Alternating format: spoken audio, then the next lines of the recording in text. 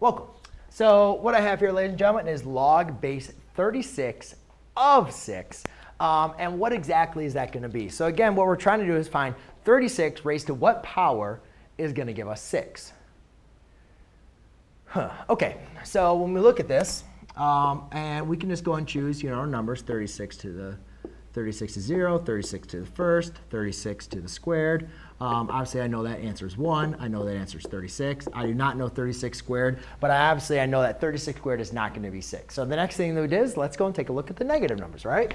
So what about if I did 36 to the negative first, 36 um, to the negative second? Well, that's just going to leave me with uh, 1 over 36, and that's just going to leave me with 1 over 36 squared.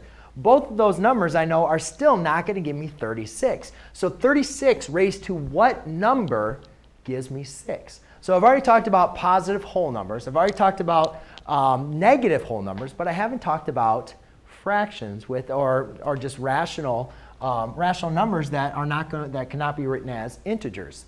So let's go and start taking a look at it and seeing, you know, 36, and there's a couple ways you guys can look at this.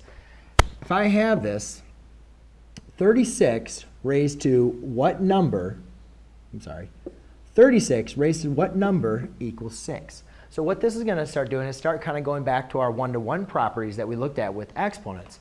And when looking at this, what we can say is, well, I want to see, can I rewrite these with the same base? And yeah, of course, you can rewrite this as 6 squared x equals 6, right?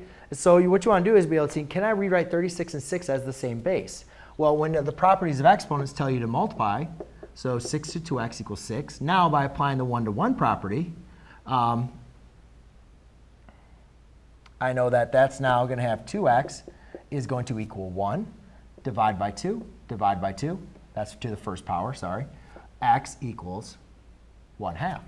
So therefore, this answer is x to the 1 half power. And let's go and take a look at that.